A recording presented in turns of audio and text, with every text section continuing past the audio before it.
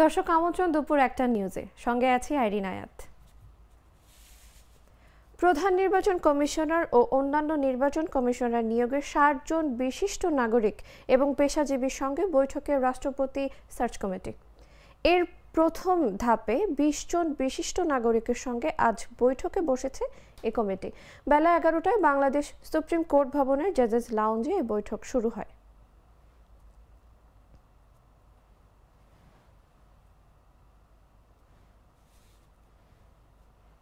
শাহজালাল বিজ্ঞান এবং প্রযুক্তি বিশ্ববিদ্যালয়ের উপাচার্য পদত্যাগ দাবিতে আন্দোলনকারী শিক্ষার্থীরা প্রতিবাদ হিসেবে বিশ্ববিদ্যালয়ের বিভিন্ন ভবনের দেয়ালে নানা ব্যঙ্গাত্মক স্লোগান এবং গ্রাফিতি আঁকেন। এসব দেয়াল লিখন ও গ্রাফিতি একদিনের মধ্যে মুছে ফেলতে নির্দেশনা দিয়েছেন শিক্ষামন্ত্রী ডক্টর দীপমণি। গতকাল উপাচার্যের কার্যালয়ে প্রবেশকালে ফটকের সামনের দেয়ালে স্লোগান ও গ্রাফিতি দেখতে পান শিক্ষামন্ত্রী। এ সময় একদিনের মধ্যে এসব মুছে ফেলার নির্দেশনা দেন মন্ত্রী।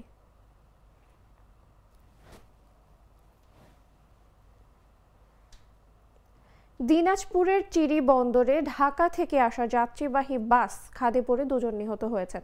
দুর্ঘটনায় আহত হয়েছেন অন্তত বারো জন। আজ শনিবার ভোরে উপজেলার মোহনপুর ব্রিজের পূর্ব পাশে এই দুর্ঘটনা ঘটে। তাৎক্ষণিকভাবে নিহতদের পরিচয় পাওয়া যায়নি। আহতদের মধ্যে সাতজনকে Dinajpur M Abdur Rahim medical college হাসপাতালে ভর্তি করা হয়েছে।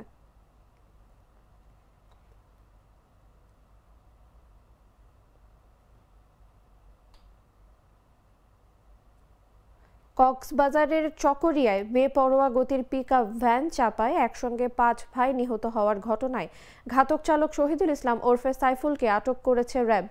আজ শনিবার র্যাবের লিগাল অ্যান্ড মিডিয়া উইংয়ের পরিচালক কমান্ডার খন্দকার আল মঈন এ তথ্য নিশ্চিত করেছেন।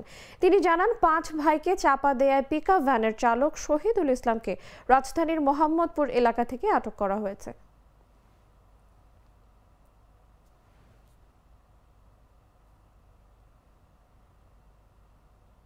কুড়িগ্রামে তুলনামূলক শীত অনুভূত না হলেও জেলা জুড়ে বয়ে যাচ্ছে মৃদু শৈত্যপ্রবাহ।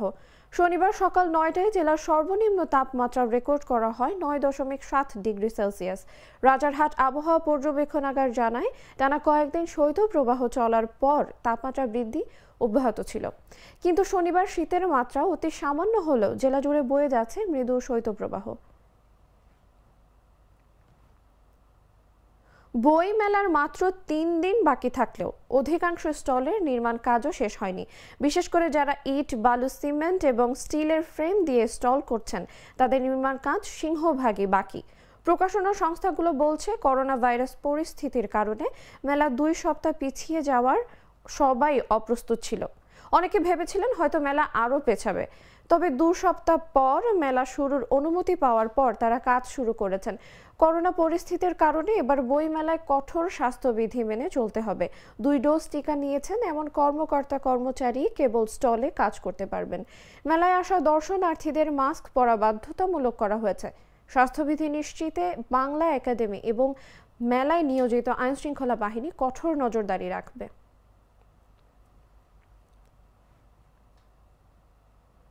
করোনা ভাইরাসে আক্রান্ত হয়ে সর্বশেষ চব্বিশ ঘন্টায় বিশ্বজুড়ে মারা গেছেন দশ হাজার আটশো বাষট্টি জন। একই সময় নতুন করে সংক্রমিত হয়েছেন চব্বিশ লাখ আঠারো হাজার নয়শো তিরাশি জন।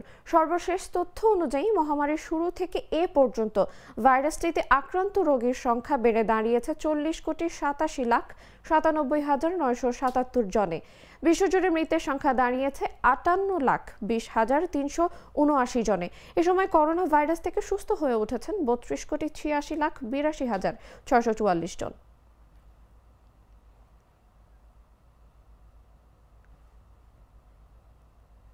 এদিকে আজ করোনার টিকা বাধ্যতামূলক করার প্রতিবাদে ট্রাক চালকদের আন্দোলন চলছে। এতে অচল হয়ে পড়েছে ক্যানাডার ওয়ান্টারিও রাজ্য। প্রায় দু সপ্তাহ ধরে চলছে বিক্ষোভ কর্মসূচি। পরিস্থিতি নিয়ন্ত্রণে জারি রয়েছে জরুরি অবস্থা। তারপরও আন্দোলন অব্যাহত থাকায় এবার ট্রাক চালকদের ঘরে ফিরতে সতর্কতা বার্তা উচ্চারণ করেছেন দেশটির প্রধানমন্ত্রী জাস্টিন ট্রুডো। স্থানীয় সময় শুক্রবার জাস্টিন ট্রুডো বলেন, আপনাদের কথা শোনা হয়েছে। এখন বাড়ি ফিরতে হবে। ট্রাক চালকদের সতর্ক করে তিনি আরও বলেন, আন্দোলন বন্ধ না করলে লাইসেন্স বাতিল করা হবে। সেটি করা হলে চাকরি, দৈনন্দিন জীবনযাপন, এমনকি আন্তর্জাতিক ভ্রমণে বিশেষ করে আমেরিকায় যেতেও বাধার সম্মুখীন হতে হবে বলেও হুঁশিয়ারি উচ্চারণ করেন তিনি।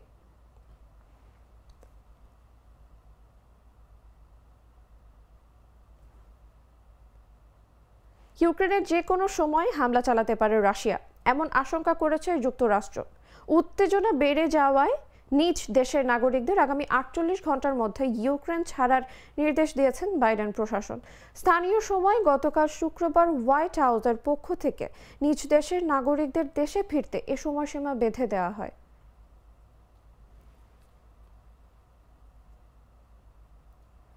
আফ্রিকার দক্ষিণাঞ্চলের দেশ মাদাগাস্কারে ঘূর্ণিঝড় বাতসিরায়ের আঘাতে বিপর্যস্ত জনজীবন। স্থানীয় সময় গতকাল শুক্রবার পর্যন্ত একশো বিশ জনের মৃত্যুর খবর পাওয়া গেছে দেশটিতে। ঝড়ের তাণ্ডবে লণ্ডভণ্ড হয়ে গেছে বহু ঘরবাড়ি এবং স্থাপনা। উদ্বাস্তু হয়ে পড়েছেন অন্তত ত্রিশ হাজার মানুষ। ভারী বৃষ্টির কারণে সৃষ্ট বন্যায় পানিবন্দী আরও কয়েক হাজার মানুষ।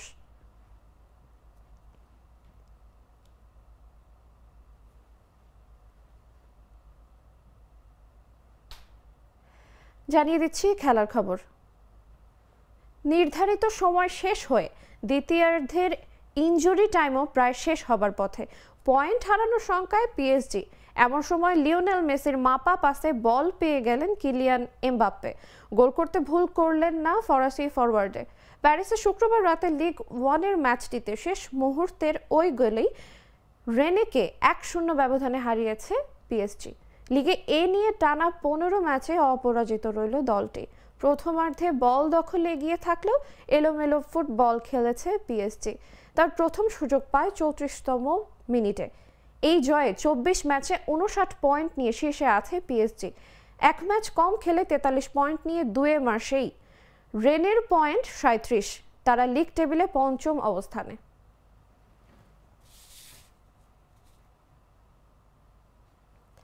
দর্শক এই ছিল এখনকার মতো। দুপুর দুইটা নিউজ দেখার আমন্ত্রণ রইল। ধন্যবাদ সবাইকে।